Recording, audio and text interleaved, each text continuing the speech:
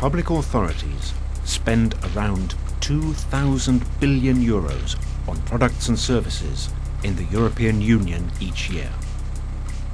This money is spent on computers, cars, electricity, buildings, furniture, paper, food, catering and cleaning services.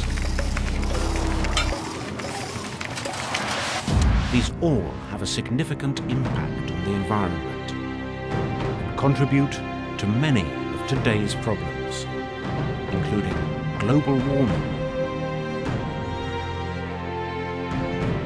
pollution, the depletion of natural resources, and waste. Public authorities can help reduce the pressure on our planet and save money by opting for environmentally friendly products and services. This is what green public procurement is all about.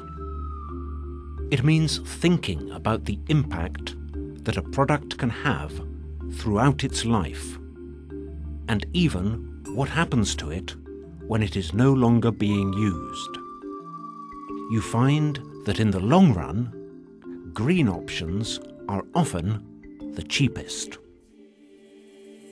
Public authorities are influential customers. They can help change production and consumption trends and create demand for green products and technology.